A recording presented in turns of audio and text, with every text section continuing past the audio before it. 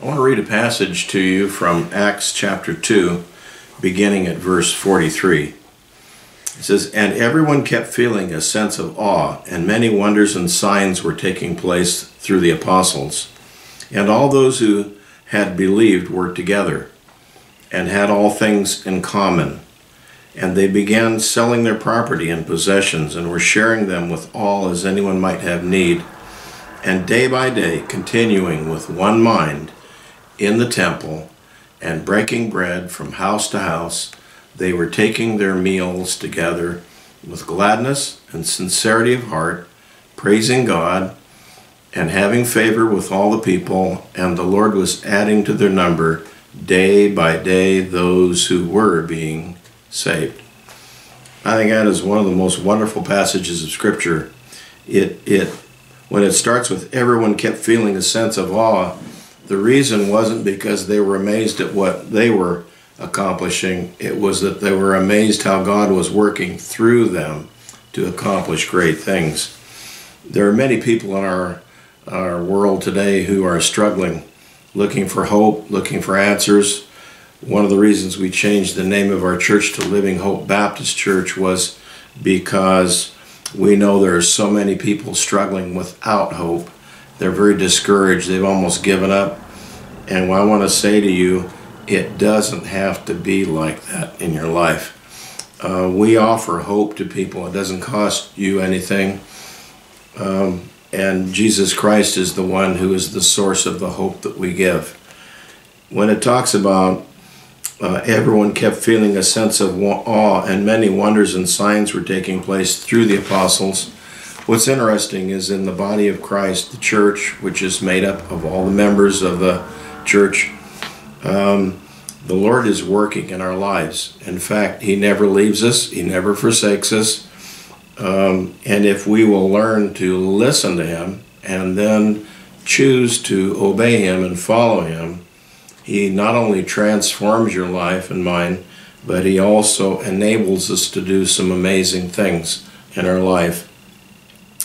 And uh, if you're going through life and you feel alone or you're struggling in life, I can tell you one very probable cause of that is you're not in close fellowship with other believers in Christ and you're trying to make it in a world that God designed without God being the guide and the empowerment in your life.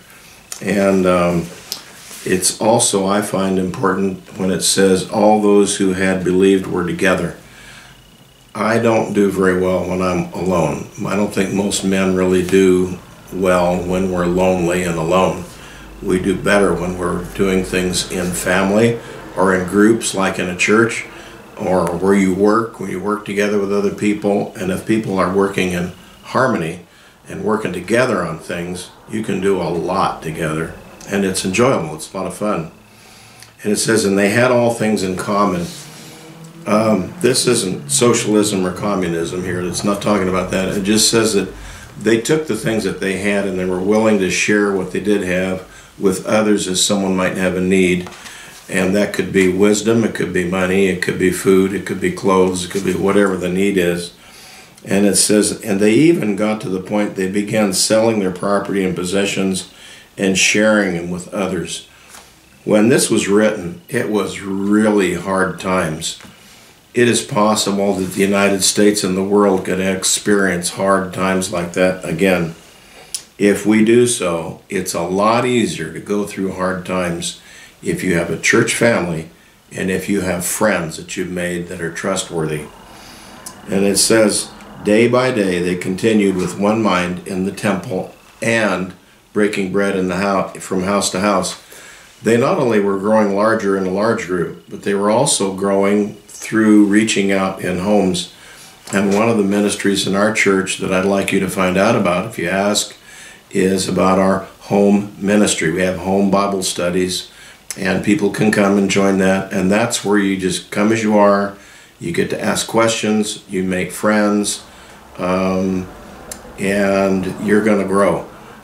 so, uh, makes life a lot more pleasant if you enjoy fellowship with others. So, if you're interested in that and tired of being lonely, or if you need some hope or help, or you want to encourage someone else If all your life's in order, then you can help someone else, okay? God bless you.